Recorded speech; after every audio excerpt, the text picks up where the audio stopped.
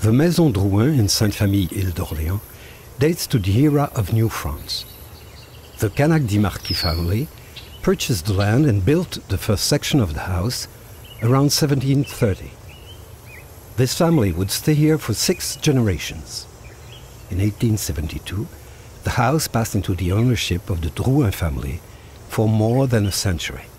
Upon acquiring this home in 1996, the Fondation François Lamy immediately opened it to the public. The Maison Drouin has kept the architectural features associating it with French regime architecture. In contrast with other homes from the same period, it has undergone few alterations and stands out for its authenticity. The house was emptied of all its original contents. The Fondation François Lamy had to refurnish it and locate all the objects that you'll discover during your visit.